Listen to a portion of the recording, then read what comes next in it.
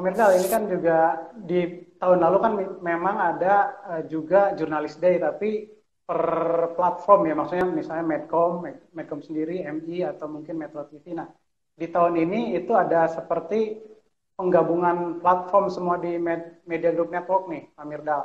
Nah, ini apa yang berbeda di tahun lalu dengan yang tahun sekarang, Pak Mirdal? Ya, satu persamaannya adalah apresiasinya untuk seluruh awak media dan pendukung-pendukungnya.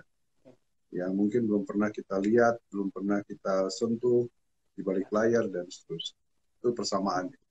Yang kedua adalah eh, karena ini adalah juga momentum dinamisasi perubahan bisnis media yang tadinya single platform menjadi multi platform, sekarang juga kita uh, fokus kepada jurnalis-jurnalis yang multi platform, bukan hanya single platform walaupun tanpa meninggalkan juga apa kemampuan skill dari masing-masing platform.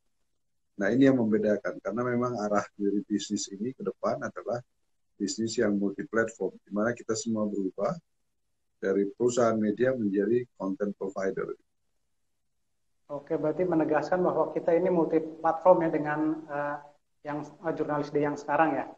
Medcom.id, a part of Media Group Network.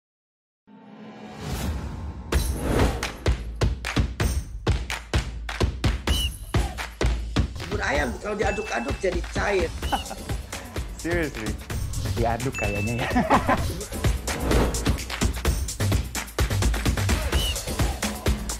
oh, perlu luar negeri gimana ya? Ini demi kemajuan bangsa Indonesia.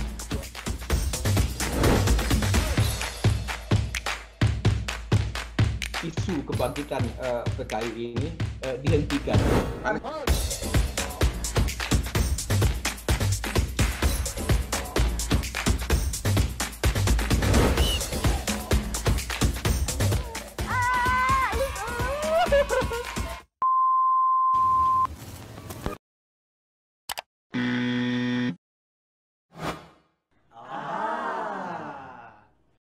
Medcom.id, a part of Media Group News.